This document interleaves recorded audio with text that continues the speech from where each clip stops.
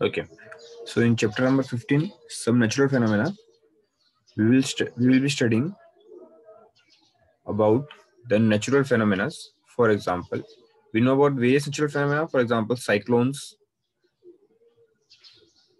lightning, earthquakes, okay, tsunamis, forest fires, thunderstorms, etc. And from these natural phenomena, few are very destructive, and the most destructive ones are these earthquakes and the lightning. So in this chapter, we will be discussing about these two natural phenomena, about how they occurs, what are the preventive measures that we can take, okay, to save the life and property from this destructive phenomena. Okay. So first of all, let us see what is the basic definition of light and earthquake. So actually, what is light? Light is a streak of bright light. Okay, or we can say it's a spark of light and a sound caused by electric discharge between clouds and earth or between different clouds means it can the lightning can occur between two clouds also it can occur between two clouds also or it can occur between the cloud and earth also okay? So lightning occurs. Two types of two or this two or three types of lightning can occur. It also occurs from lightning to air. It doesn't reaches to the earth. It only just uh, at a point in the uh, in air okay? So these three types of lightning occurs. Understood all of you? Okay so let us see that what is earthquake. Earthquake is a sudden shaking or trembling of the earth caused by disturbance deep inside the earth crust. Okay now what do you mean by earth crust? What do you mean by earth crust?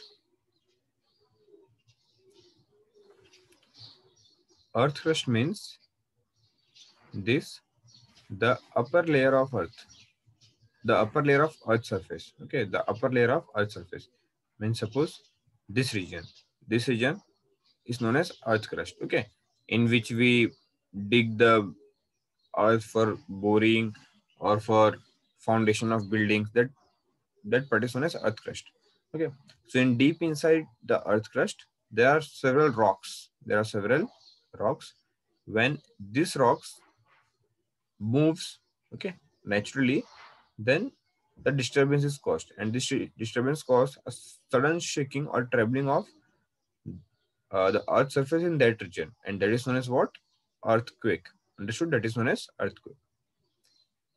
So these two natural phenomena are very very destructive and it causes a lot of damage to human life and property. Okay? Okay. Now just let me know that are we able to predict the cyclones and tsunamis?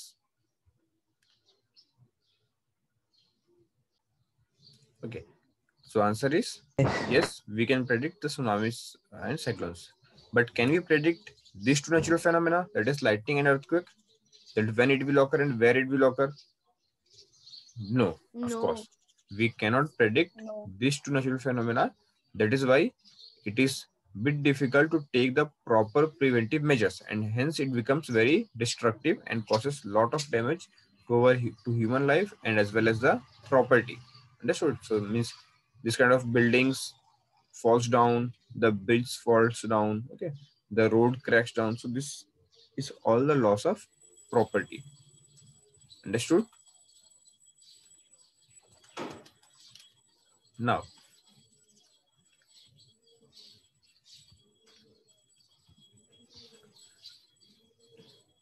see one thing in america in america there was a scientist whose name was benjamin franklin. Whose name was benjamin franklin. Okay. He was the first one. He was the first one to find the cause of this lightning that why the lightning occurs what is the reason behind them okay? So what he said that that when two objects are rubbed with each other only then or in that case only this lightning occurs okay? And he gave a very simple example of rubbing of sweater or blankets with our body like now it is a winter time so you would be able to easily relate it with relate this concept with the lighting. For example suppose you are in a blanket. If you might have observed this if you will switch off the lights of your room and if you rub your hand on a blanket if you will if you're going to rub your hand on a blanket then you might have seen the uh, small streak of lights or small spark of lights and even crackling sounds occurs yes how many of you have observed this or done this Me. yeah priyanshu has done okay Sir, I have done. In winter season. I have also it is done. done most. yeah actually we enjoy doing this right okay also you might have heard if suppose you are wearing a sweater okay you're wearing a woolen sweater and when you remove it from your body okay? Even then sometimes a crackling sound occurs okay? And our we can see that our hair the hairs on our hands they they are they they, they are raised okay? When we remove them they are get, they are getting attracted by the that woolen sweater. So here what he said that the crackling sound okay? What he said the crackling sound and the spark of light. The spark of light. The spark of light which is seen during rubbing of during rubbing a blanket with hands okay or during taking out a sweater. These are the same phenomena or the same thing happens during lightning also during lightning also. Even there the air currents and water droplets rubs with each other and we are able to see the the lightning okay? Means both the phenomena are same.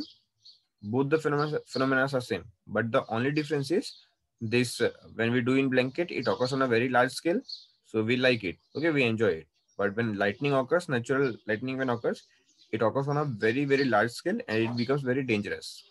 Understood? So here you need to remember the name. He was from america benjamin franklin okay? And what he said he was the first one to explain the reason of this lightning.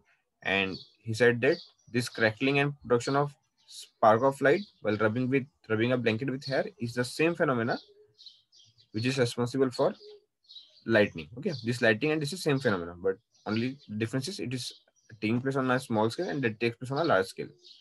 Clear yeah. Okay. Now uh one more thing.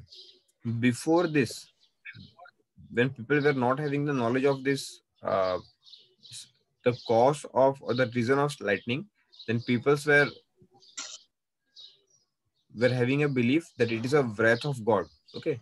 Means we can say that when god gets when god gets angry so he gives this lightning so it was the belief during old times. Okay. Understood this?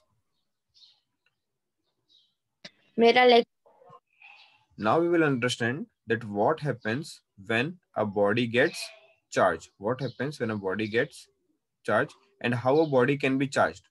These all things we will understand. Okay.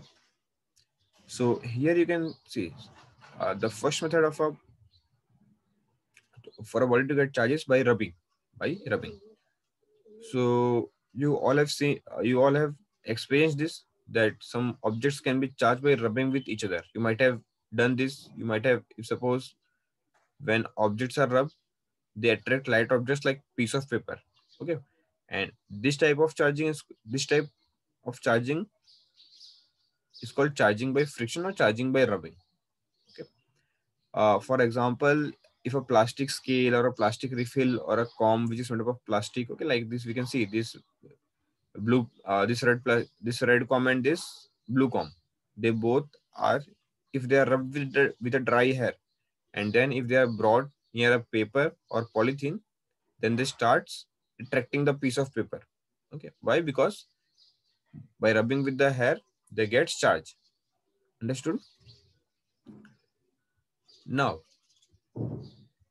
here, why they are attracting and by which force they are attracting? By which force they are attracting?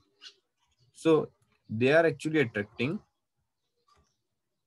by a force which is known as electrostatic force, which is known as what?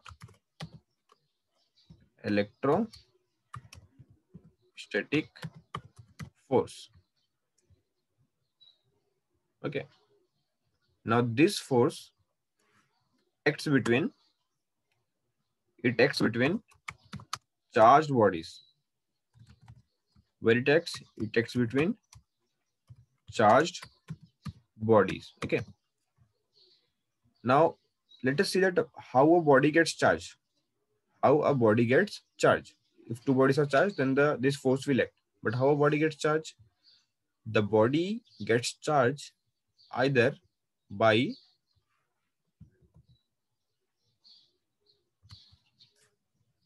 by loss of electrons or by gains of electron. Or let us we can also write by excess of electrons okay. by excess of electrons or by lack of electrons. Understood this? Okay now can you tell me what is the uh, charge on an electron negative or positive?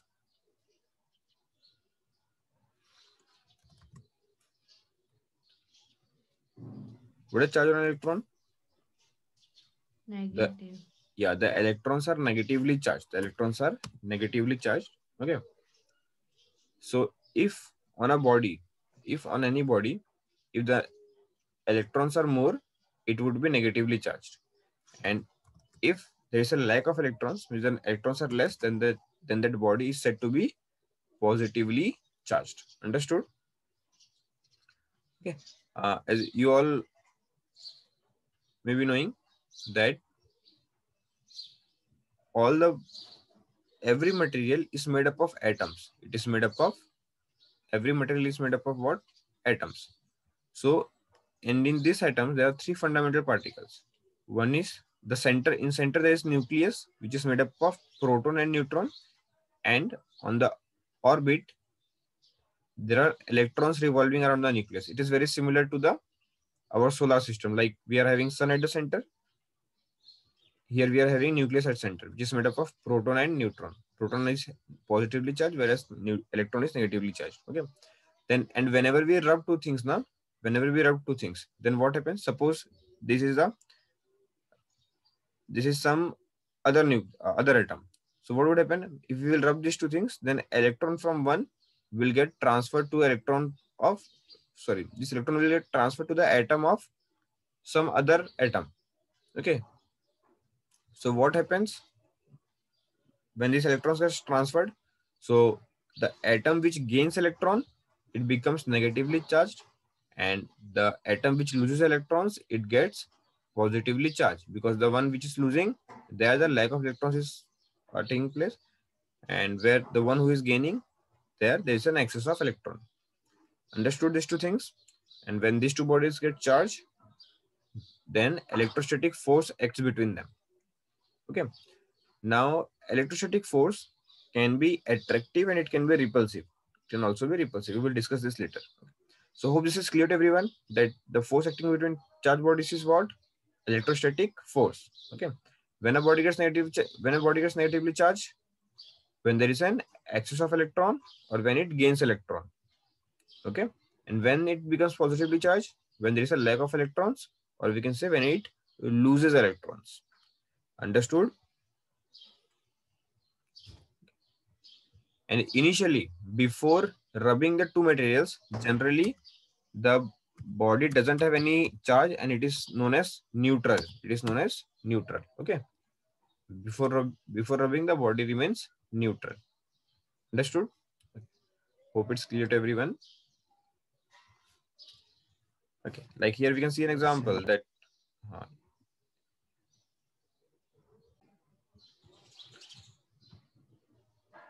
here you can see this. Here you can see that after rubbing, the hair of this girl is getting attracted by this. Is getting attracted by this balloon. Okay, so can you tell me by which force this balloon is attracting the hair? Electrostatic force. Yeah, it is attracting the hair by electrostatic force. Good. Okay. Now let us see that uh, what is the means when the body repels means we can say that the electrostatic force is both repulsive and attractive. So when it repels and when it attracts. So it's very very easy. Uh, it is very similar to the magnet. Okay. So you can relate it with that also. For example, there are we know that the types of charges are two, either positive or negative charge. Positive or negative charge. Okay. Now, if the two charge bodies have same charge, like charges, then they will repel. And if they are having unlike charges, then they will attract. For example, the plus minus, the positive negative charge will attract. You can we can see over here they are attracting towards e- they are attracting each other. And here we can see when they are having like charges, means both positive or even if both the negative both are negative also in that case the same would happen then they will repel means the electrostatic force will act in opposite direction okay? So opposite forces opposite charges attract each other whereas same charges whether plus plus and minus minus they will repel each other okay? So this is the nature of electrostatic force okay? Hope it is clear to everyone? Yes, sir. Yes, sir. Now, there is an activity to understand this, the repulsion of same charges and attraction between opposite charges. Okay. So let us understand this.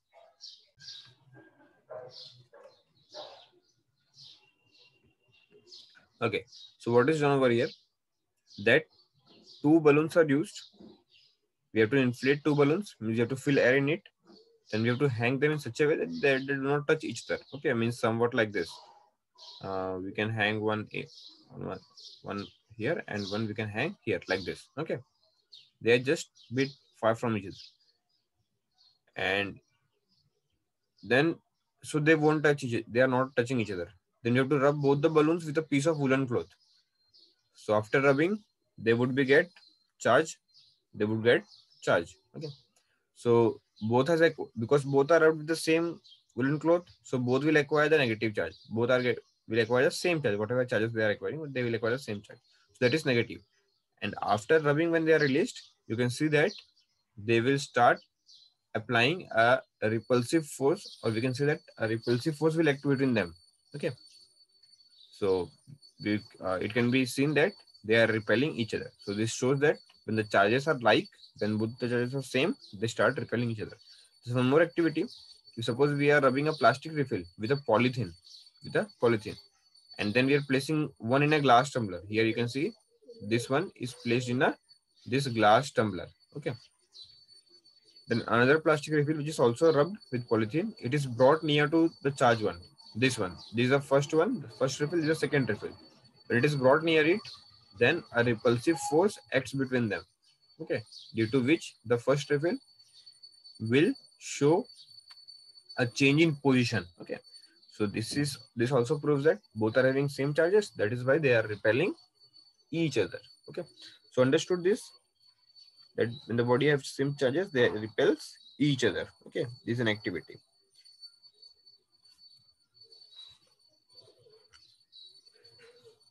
Now, what would happen if the if that balloon rubbed with woolen cloth and this um, refill rubbed with polythene is brought near to each other? When they are brought near to each other, then they attract each other. They start attracting each other. Why? Because this plastic refill has acquired positive charge and this balloon has acquired negative charges. So now because they are having opposite charges, they start attracting each other. Okay. So this shows that If the charges are unlike, means if they are opposite charges, they will attract each other. Okay. Hope it's clear to everyone.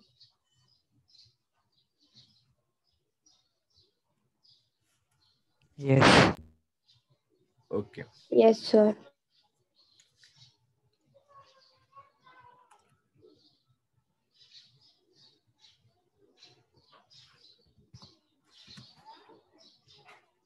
Okay. Next is charges acquired by different objects.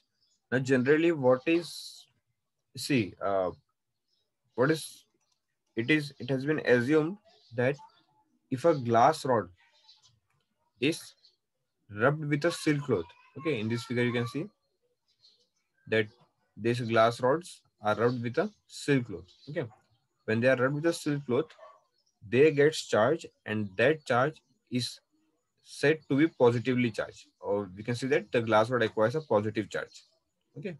They acquires a positive charge. And when a plastic rod is rubbed with fur like here you can see in this figure the plastic rod is rubbed with fur. This is a fur on which this plastic rod plastic glass is rubbed. So they acquire a negative charge okay? And when this two when these two are brought near to each other, they starts attracting each other. This again shows that they are having opposite charges. One is having positive charge and one is having negative charge. Understood? So this you need to remember. These two things. That plastic rod is considered to be negative when it is rubbed with fur and the glass rod is considered to be positive and it is rubbed with a silk cloth. Okay. okay. An order that which material will get acquire which charge. So it is you can see this wool, fur, glass, paper, silk, okay, hand, rubber, amber, ebonite, plastic. So when this these materials are rubbed together, the one in the higher order gets positively charged and the one in the lower order gets negatively charged. Okay. For example, if you will rub, rub glass and fur, okay, so the glass will get negative charge and the fur will get positive charge like that. Okay. So actually you doesn't have to, okay. So in this way, the body gets charged and this, these two are the assumptions that we have that is made in in case of this charge bodies that whenever a glass rod is rubbed with a silk cloth okay just remember these two names glass with silk glass with silk. Whenever it is rubbed then the charge acquired by glass is considered positive. The charge acquired by glass is considered positive. and when an ebonite rod when an ebonite rod is rubbed with a fur then the charge acquired by ebonite rod is considered negative. These two you need to remember. Okay? These are two important ones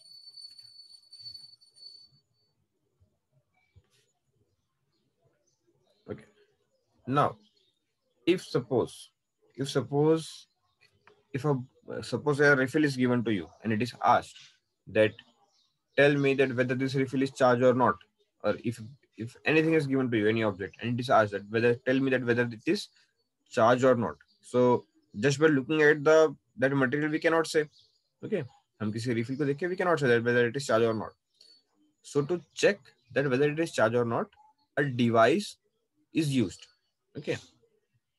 And that the name of the device is electroscope. The name is electroscope. What it does it is a device which is used to test whether an object is having charge that means the electric charge or not. Understood? So you, you need to remember this definition. Okay. Now let us see that how this electroscope can be made and how it works. It's simple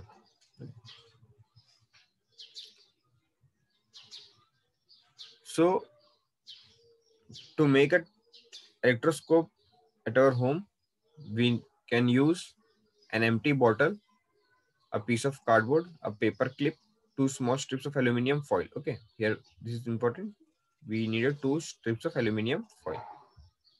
Then what we need to do? We have to pass one end of the paper clip to the cardboard Okay, this you can see. This is the paper clip.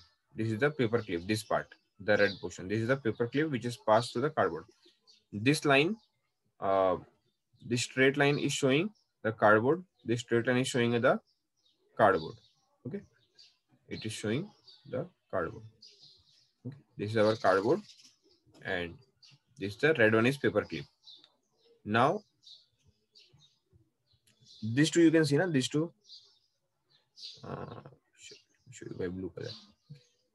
These two part. Okay, these two are the aluminium foils. These two are the aluminium foils. Okay, it is given that we have to hang. We have to hang the two aluminium strips from the other end. Okay, understood? This is the this is how we can make a simple electroscope. What is this? A glass or a empty bottle. Okay. What is this? Cardboard. What is this? Paper clip. Paper clip. And what is this? Yeah, that's it. Only this much we require. Okay. Okay, this is a simple one that can be made at home. Even it is made up of this type also. We can use any metal foil at the top. We can use a cork in between. Then through a copper wire, we can connect. And here we can use two aluminum foils. And with a copper wi- with a copper wire, we can connect this metal foil with the aluminum foil. This how this can also be done. Okay, now how it works. How it works. So, what happens whenever a charged body is touched to one end of a paper clip? The aluminium strips repels each other. Means what? If suppose you will, you are touching a glass rod which is having a positive charge on it. If you're touching the glass rod with this paper clip, which is having a positive charge. So the charges flows from one body to another body. So that positive charge will start will flow through this paper clip and it will reach aluminum foil and it will reach both the aluminum foils. So both these aluminum foils will get positively charged, right? Both both will get positively charged. Now if our both are having positively charged, then they will attract or they will repel. Repel. Repel. So when Repel. yeah so they repels and they moves away from each other they moves away from each other so if they moves away from each other then it is it means they are this body the rod this glass rod was charged like this we check it if they are not moving away from each other means it is not charged understood